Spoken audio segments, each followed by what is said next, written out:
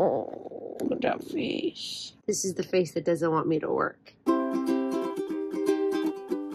It's the final crochet project of 2023. Okay, so this one, we're gonna go a little easy. We're gonna make some pillowcases. Hopefully it's easy. Every time I say something's easy, it never is. I put a poll on my Instagram asking y'all if you wanted to see me make some pillowcases, crochet some pillowcases, or sew a jacket from thrifted fabric, and y'all voted for the pillowcases. So we're gonna do that. No matter how much I try to push the sewing content on y'all, y'all don't want it. Y'all just wanna see me crochet and that's fine. You're missing out. There's some really good fabric over there that I will be making into a coat and I may or may not make a video about it. We'll see. Maybe I'll just do a vlog for my Patreon. Now that I mentioned it, I do have a new tier on my Patreon. It is a $2 tier and that's where I'm gonna put random vlogs that aren't long enough really to be a YouTube video. I'm just gonna put them on my Patreon. Like I can put it together like a five minute vlog and just throw it on Patreon and I love that idea. But if y'all are already a member of my Patreon, the $5 one for all the patterns, you'll also be getting those vlogs too. Back to this video. Anyways, I rambled on to get to the Patreon because I might do a vlog on the jacket for Patreon. Pillowcases. I don't know if I wanna go with the granny stitch. These are decorative pillowcases. I mean, I guess you could sleep on them too, but they're more for like a couch or something. Anyway, the colors. I went to Michael's and I bought these colors here. They are all different shades of teal and I think they are so pretty together. What's so funny is when I was in the store, these two colors looked really identical and I'm like, should I buy like this one here? It looks too close, but now seeing it in different lighting and in the camera, all three of them look completely different.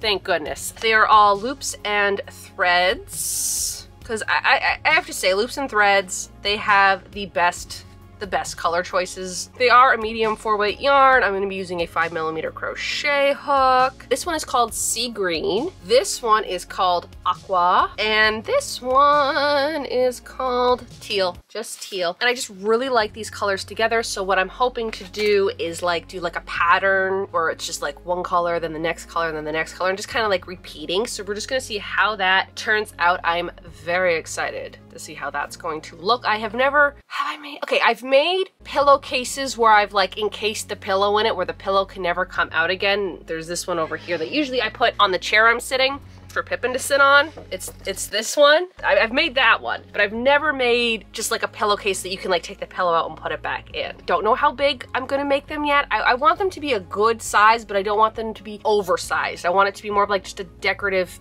pillow. We're just gonna see how that goes and hopefully everything turns out okay. I've decided that I'm gonna go and do a granny stitch for these pillows. It's basic, I know it's simple, but I actually have like a deadline that's uh, fast approaching and I kinda need to get it done. And I just wanna do a stitch that looks nice but is also very quick to do and that I don't really have to learn anything new. Also, I feel with this type of pillow that I am making, I want it to feel kind of vintage, retro. I want it to feel, I don't know, crochet. Even though everything I do is crochet and everything feels crochet, I just want the more retro crochet vibe. And what better stitch than the granny stitch? I'm going to be making four granny squares. Now, here's the only thing I'm thinking. I'm kind of thinking I want these pillows to be not so much reversible, but like double-sided. One side, the granny stitch, right? But maybe for the second side, maybe try a different stitch out or maybe do a different pattern. Then that way the pillow could be one way and then you can flip it and the pillow can be the other way. So we're just gonna stick with the simple granny stitch first, get those two sides done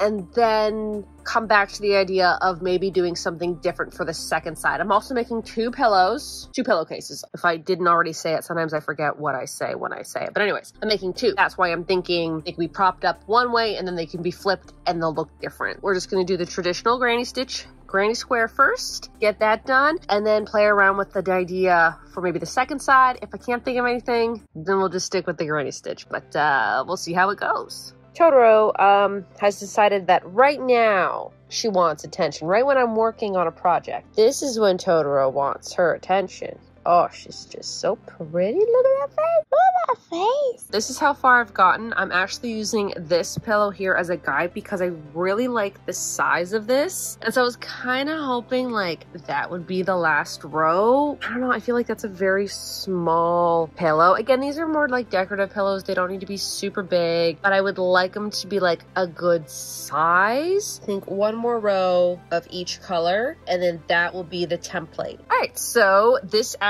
is the perfect size. And it is 1, 2, 3, 4, 5, 6, 7, 8, 9, 10, 11, 12, 13, 14, 15. It is 15 rows, which is one, two, three, four, five, five rows of each color. I think it's the perfect size. What I'm gonna do tonight is I'm going to make another one like this shape, and then tomorrow we'll get back into the idea of do I want to do something different for the other side or do I just want to stick with the granny stitch? That'll be tomorrow. So today I am going to be working on the second square and yeah.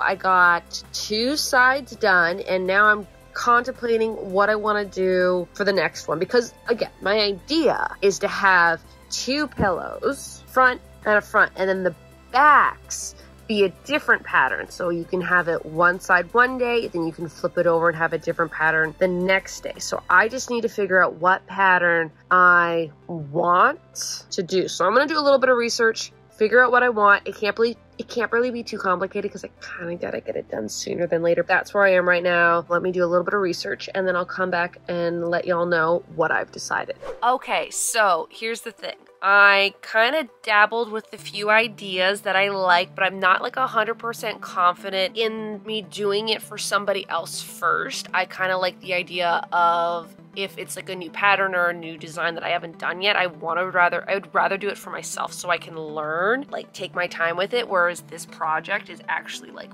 since it's for someone else, I kind of have a, a, deadline. Like I need to get it done in the next two days. And there's something else I also have to make. Think what I'm to do, and I know I'm playing it safe, but also again, because it's not for me, I don't want to go extreme if they don't like it, right? I'm to do still the granny stitch and the granny square, but instead of doing it like every other row is a different color, I think I'm gonna do like two rows are a color, two more rows are a color, two more rows are a color. So it's more of a striped pillow, but I just have to figure out the math because so say if I do like light blue, medium blue, dark blue, light blue, medium blue, dark blue, end with light blue, and then do a border in the dark blue. Or I do like a big square in the middle and say like do this whole square is like light blue, then that'd be medium, dark, light, medium, dark. It, still ends up that way. Don't want to do three, I want to do two lines. So I think what I'm going to do, start off, or maybe I could start off with a dark blue. Dark blue, medium, light dark, medium, light, and then like three rows of dark at the end. I think that's the best bet. I think I'm gonna do that because it's a little bit different. So it's not like the same pattern. All right, let's let's get let's let's do the let let let's finish this thing. Got to about here when I realized I did the order wrong. Okay, so if you're looking at this, it goes light blue, medium blue, dark blue aqua, whatever you want to call it. And I wanted to do the same where it went dark blue, like you see, I wanted it to go dark blue, light blue, medium. And I accidentally went dark blue, medium, light blue when it should have been dark blue, light blue, medium. I'm not taking it apart. This is how it's gonna be now. I mean, it looks fine because when you think about it, it just goes in the opposite direction. So if if you're looking at it going this way, then I did it right. So we're gonna say it's fine and we're gonna roll with it. Totoro has oh yeah. You just want so much attention, don't you? I'm sorry, Totoro. Oh, look at that face. This is the face that doesn't want me to work. This is the difference. You can kind of see the difference. I really like it because it's the same, but it's different.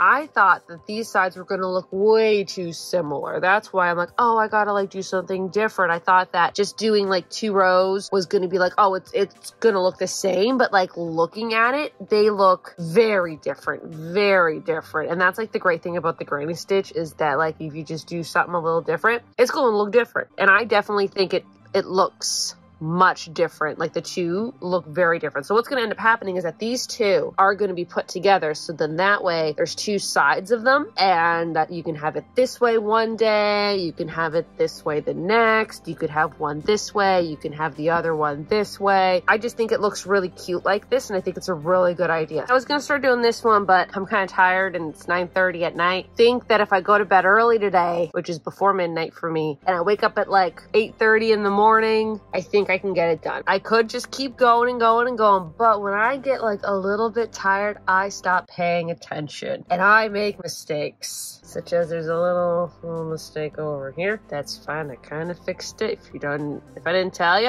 I mean, it doesn't really look like it's even there. I'd rather just not make mistakes and not have to take things apart. The next day. I ran out of blue. Well, the, the teal color. So I bought some more and I think they're the same color. Good. Now I did buy two more skeins of yarn for these two colors too, but I don't think I'm to need them because I only have like two more rows with this color, two more rows of this color, but this one I have five more rows. So I definitely need more. It's also my connecting color. It's the color that I'm to be connecting them all together. I got all four pieces done, but unfortunately I did not get them done in time for this video to be done when I wanted it to be done, but it's fine. That's on me. I am not great with time management, okay? What I'm going to do now is I'm going to weave in all the ends before I have to attach them. And then to make sure that I attach them to the right pieces, I am just going to put the two pieces together. Those two pieces, and then we got those two pieces. What I'm gonna do is, of course, attach them in a big square. But when I get to the bottom, which was originally this, but I don't think I'm going to make this the bottom anymore. I think I might make this the sides. That way this doesn't hang out. But anyways, when I get to the bottom of the pillowcase, I think I'm going to sew like this far, leave an opening, and then sew it here. I think that's going to work best for me. I can't think of another way to like put a clip or put Velcro. I just don't think that's going to work well. So I think I'm just going to leave a little opening so the pillow can go in and the pillow can come out, weaving in the ends and then sewing the pieces together.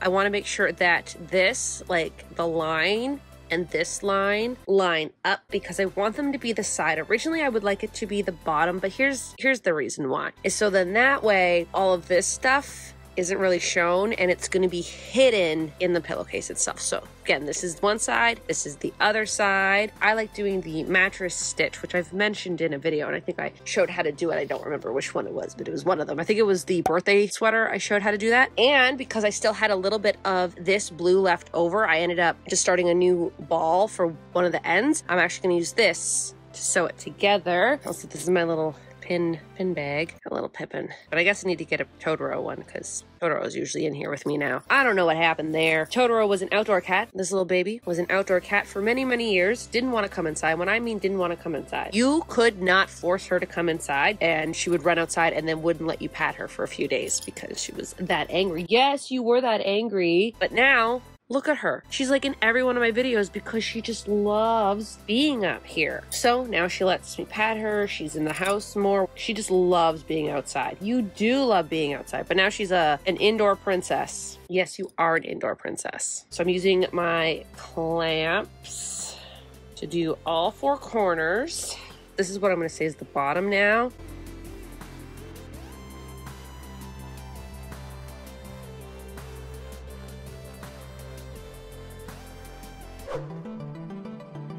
I got them done. I got them done. They took me so much longer than I thought. Like attaching them took me so much longer than I had even anticipated. So that was that was fun. The two different patterns that I was going for. I think these look so cute. At one point, I'm looking at them like, I don't think they're teal. I think they're blue. Oh my goodness, did I buy blue yarn? And then I like took a little break because I had to work on something else and I was using blue yarn. I'm like, no, these are very much teal. It's just when you're constantly looking at at something, you're like, is this what I think it is? Two years ago, I think if y'all remember, I had made a crochet hot dog and the hot dog was like this. And at one point I'm like, is this even a hot dog anymore? Yeah, that, that happens to me. It also happened when I made the hamburger because I'm like, I don't know if this is a hamburger. But anyways, when you take a step back and then you look at it again, you're like, okay, I'm going in the right direction. And that was me with these colors because to me they're very blue, but then once I put them next to something that is actually blue, they are so green. I know it's off topic, I'm sorry. This was the blue I was using. But Without it, it looks kind of blue. And then I actually put a blue next to it and it's like, oh, okay, yeah, we're on the right track. I think these turned out really, really nice. I think this is cute. Oh my goodness. I kind of want to make this into like a vest now maybe. So many other projects that I... Actually, I don't know what to do next. What is my next project? Because this is like the last thing I needed to do for December. Now the Christmas is like over and I finished all the Christmas stuff, I was like, what do I work on now? Anywho, I really like these and what I ended up doing is at the bottom here, I made this little space so then that way a pillow can be stuffed in but it's not going to be like wide open. Another thing is that I was writing down how long it took me to make and then at one point I just kind of stopped doing it. They take longer than you think but they don't take as long as other things. As for yarn wise, for the light teal, I think this is called sea green. This is what I started with, so the very middle here. This is what's left of it. I bought another one didn't have to use the other one, but I think I'm gonna use it for my next year's temperature blanket, so it will work out. For the other blue, I have about this much left, so it's a little bit more. And then for the teal color, I actually used one full skein of yarn, like the dark teal, the darkest one. I used one full skein of yarn plus a little bit. The bright color and the medium color didn't even need to use a full skein of yarn and that is for, by the way, both, both sides. So I'm talking about all the yarn I used for this. Again, these two colors, this is what's left from the first skein of yarn. Didn't have to start a second one, didn't have to use a second one. I did have to use a second one for the dark blue. And again, this is just the granny square. It's the same stitch, it's just a different pattern. So this one here, again, I did alternating. So each row was a different color in the same pattern. I did two rows in the same color. So I really actually like how this one turned out. I wasn't too sure. Sometimes you think, for me, sometimes I look at something like that's just too simple, that's too basic. I want to like go more extreme. But then other times like like this, I really like how this looked and I'm really glad I didn't go extreme with it. So I really like this. Now again, I don't have I don't have a pillow for it, but I do have this pillow, which is my own pillow, so I just want to see, okay, so this is what the pillow looks like, and again, the opening, you sit that on, like on a couch, you're not really gonna see it, but this is what it looks like with a pillow inside. This pillow that I am using is a little bit smaller, so you can definitely put a bigger pillow in this. I really like this, and part of me is like, let me make some pillows for myself, and then I just remember how long it took me to make these pillows, and I'm like, maybe I should work on something else for a little bit. I think these are so cute, and for the last, basically, official big project of 2023, I'm glad I just went with making someone some really nice pillowcases, because these are really cute. I've always wanted to make pillowcases. I've only made one, it was the round, but it's a completely different one. But I've always wanted to make some square pillowcases, see how they are, and I really like them. I think I did pretty good with these. That will do it for this video. If you're new to my channel, like sewing, thrifting, crafting, and of course crocheting, why not hit the subscribe button? You can follow me on my Instagram, my TikTok, and of course my Patreon. I think that's it, so y'all have a good day now.